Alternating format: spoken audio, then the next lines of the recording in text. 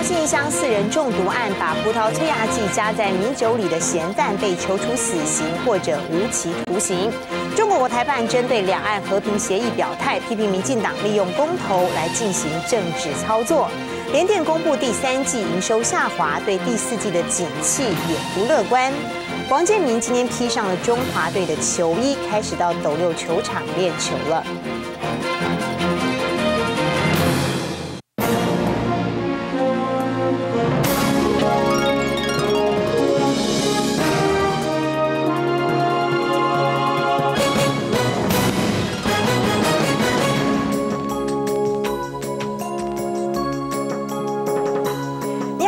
我是黄明明，欢迎收看今天十月二十六号公视晚间新闻。首先要带您关心，在日前发生在南投县信义乡引起当地恐慌的两对夫妻离奇中毒死亡案，凶手从一开始怀疑的马钱子到肉毒杆菌，各种猜测都有，但是后来案情却急转直下，原来是一起情杀案。嫌犯朱明福在米酒里面添加葡萄催芽剂，导致包括他前女友在内的四名被害人中毒身亡。而南投地检署今天侦查中。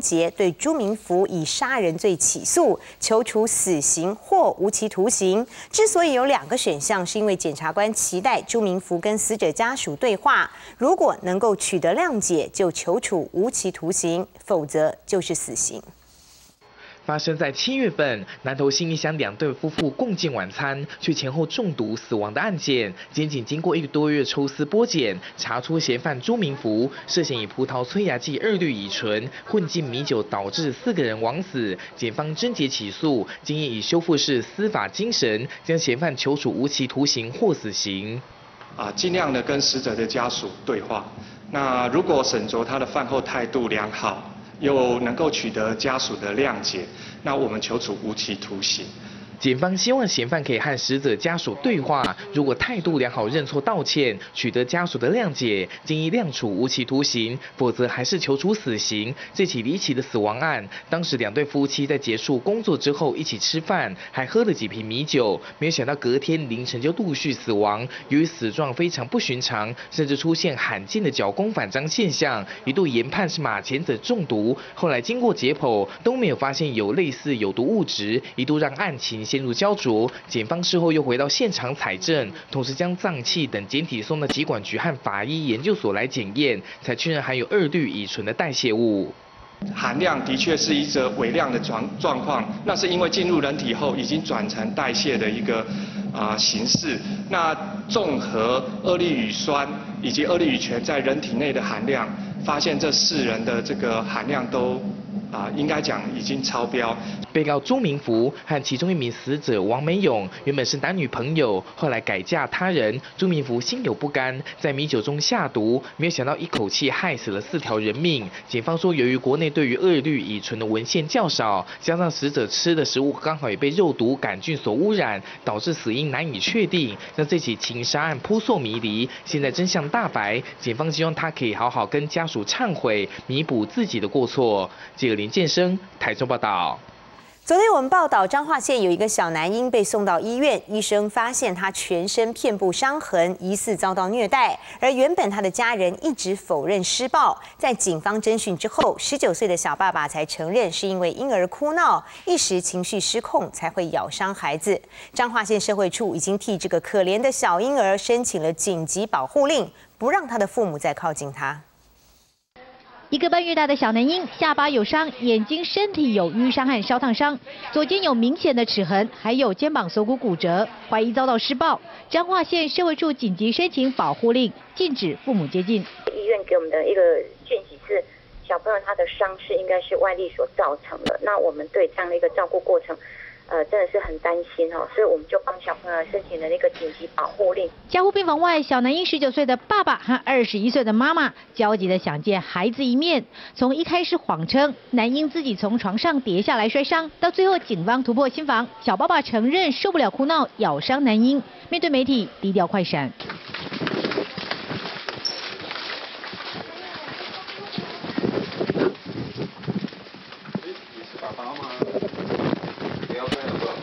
半月的小婴儿根本不会翻身，新旧伤痕中还有明显的牙齿咬痕，显示施暴不止一两次。男婴曾祖母不知道孩子的父亲狠心施暴，差点害小曾孙没命。警察啊，跑过来。呃，恁孙仔讲有甲迄个警察讲，诶，伊是情绪失控，真心情无好，迄个才才会甲叫拍。讲跑过，有影跑过，过来跋倒来。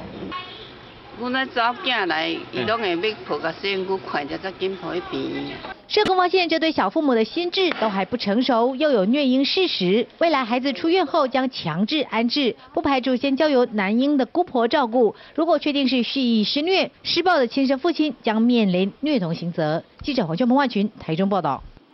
位在台南永康的奇美医院，今天下午三点左右发生火警。虽然火势很快被扑灭，但是浓烟久久不散。院方紧急疏散了一百五十名病患，现场还有三个病人正在开刀房，医生赶快把伤口缝合，结束手术。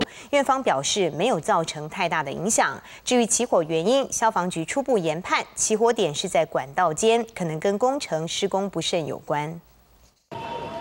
挂着点滴的病患和医护人员全被疏散到户外，还不时向上看，关心医院火警。消防人员赶紧将排烟管先拉出窗户，要将三楼以上的烟雾排出医院。台南永康奇美医院二十六号下午三点多发生火警，院方赶紧将一百五十位病患紧急疏散。阮里八啦都看到烟啊，看到烟，看到烟，哦，啊，这多啊烟还好啦，还好，啊，这个这个疏散落来啊。那叫阮疏散，我就赶快拼落来啊。哎，对对对。对啊，心情紧张啊！而火警发生时，还有三名病患正在开刀房进行手术，医院紧急应变，所幸没有对手术造成影响。当时在三楼的手术房呢，是有三名患者哈，那有一名。就在现场把他立即结束手术。那另外两名病人因为还没有开刀，就立即疏散到一楼的重置区哈，做后续的医疗照护。那状况是非常稳定哈。台南市消防局出动二十五辆水车灌救，火势很快扑灭。消防局初步研判起火点应该在三四楼的管道间。判断的部分是在管道间的部分起火哈啊，它是不是有是在管道间实施一些工程的部分呢？我们现在还在跟医院这边哦做一个确认哦。还好这场火没造成人员伤亡，而医院的损失和起火原因都需要进一步调查。记者台南综合报道。两岸和平协议最近成为总统大选的焦点议题，而在台湾两大党攻防的同时，中国国台办今天也首度在记者会上表态。国台办发言人杨毅正面肯定和平协议是两岸关系未来的必然发展，但是他同时也批评民进党想利用公投进行政治操作。总统马英九提出，可以考虑用公投的方式来决定未来要不要跟对岸洽签两岸和平协议。中国国台办发言人杨毅在陆美的询问下，首度做出回应。杨毅肯定的表示，和平协议是两岸关系发展的必然前景。结束两岸敌对状态，达成和平协议，符合中华民族的整体利益，是两岸同胞的共同愿望，是我们多年来的主张。报道。对于两岸洽签和平协议，国台办持肯定态度，而总统府强调绝对不会为签而签。推动两岸和平协议，目前的时机并不成熟，也不能够造进。我们不会为签而签，也没有时间表。相较于对和平协议的肯定，针对民进党提出两岸政治协商必须交付公投的公投法修正案，杨毅则重话批评：政治协商是一件不断。创造条件，将来水到渠成的事情，不应该允许任何势力借机进行政治炒作，捞取政治利益。显然，这个公投还是北京所坚持的红线。按照马总统最新的说法，公投也是选项之一的话。那这个无疑也是将马总统这条路给他堵死。民进党强烈质疑马总统日前也提出公投，现在中国反对公投，是不是也会跟着改变立场？所以民进党所提的公投法修正案在立法院遭到封杀，但也挑起两岸关系的敏感神经。记者综合报道。国民党行动中常会今天在新北市举办，这里也是全国最大的票仓。民进党蔡英文去年在参选市长的时候，在新北市开出了不错的成绩，让国民党不敢掉以轻心。除了下午的中常会之外，国民党今晚还在双河地区举办造势晚会，全力巩固新北市的票源。马英九总统今天是火力全开，抨击民进党把两岸和平协议抹红抹黑成投降协议，是不应该的事。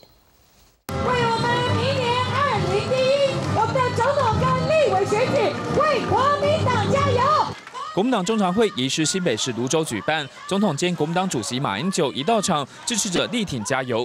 由于民党总统参选人蔡英文上午到新北市双河地区抢攻蓝营票仓，下午的国民党中常会刻意营造成造势大会，回访巩固新北市的意味浓厚。而对于蔡英文喊出新北市要拿下超越去年五都选举时的一百万四千九百票，马总统则全力吹票，希望全国最大票仓的新北市民乡挺赢得胜选。两千零八年英九参选的时候，在呃当时台北县，也就是现在的新北市呢，赢了四十九万多票。我们这次再去争取连任，希望我们能够继续努力，赢得胜选，好不好？马总统更进一步在两岸和平协议议题上主动出击，抨击民进党把两岸谋求和平的努力抹红为卖台。我们要求我们的反对党民进党。不要把这一种为台湾人民未来谋求和平的努力把它抹红，民进党也不应该把这一种让台湾两千三百万人民决定台湾未来的做法，把它说成是投降的协议，这个对人民呢，我觉得是一种侮辱。而马总统也进一步强调，目前两岸签署和平协议的时机还不够成熟，因此对和平协议的签署不会照进，也没有时间表。而对引发部分蓝营支持者疑虑的公投，马英九表示，公投是测试民意支持的重要方式，能够让两岸和平协议经过民主的程序，如此才能真正获得人民的信赖。记者林选刘汉林台北报道。